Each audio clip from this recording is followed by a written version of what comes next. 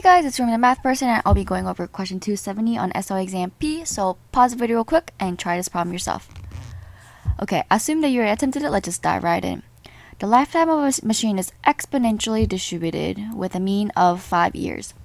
Calculate the mean lifetime of the part given that it survives less than 10 years. Okay, we're looking for the expectation of x given x survives less than 10 years. Okay, and then what else do we know? Oh, we know we do know the exponential distribution formula, which f of x is just defined to be 1 over 5 e to the negative t over 5, and the CDF f of x is defined to be just 1 minus e to the negative t over 5. Okay. And this is an ex um this is a conditional probability or conditional expectation. So we just we can just find the expectation of x given x is less than 10 divided by the probability that x is less than 10. Okay, the probability that x is less than 10 is just 1 minus, using our CDF formula right here, is just equal to 1 minus e to negative t, negative 5, I mean 10 over 5, which is just 2. And then we're looking for the expectation. Okay, so that just means I'm going to just do the numerator part right here. A little side note, side insert right here.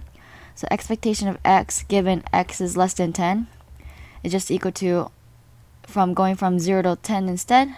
Because since um expectation is bounded between 0 to infinity and we're just finding our expectation. 1 fifth e to the negative t over 5 dx. Okay I need to stop using random variables.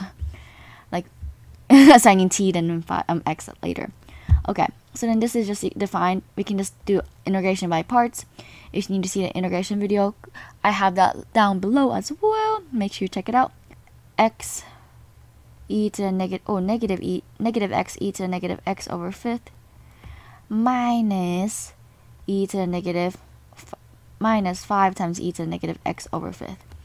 Okay, so this is equal to, defined from 0 to 10. So this is equal to negative 10 e to the negative 2 minus 5 e to the negative 2 minus, if I plug in 0, that's just positive. My minus minus makes a positive, so this is equal to 5 e to the negative, oh, just 5. Okay. So I'm going to put this formula on top of our thing right here. So this is equal to 5 minus 10 e to the negative 2. Or actually, this is just equal to 15, right? Negative 15 e to the negative 2. Let me type that into my calculator real quick. Okay, so this is equal to 3.43, which is our answer E. If you guys have any questions, feel free to leave them down below. Otherwise, make sure you like, subscribe, and share. Bye!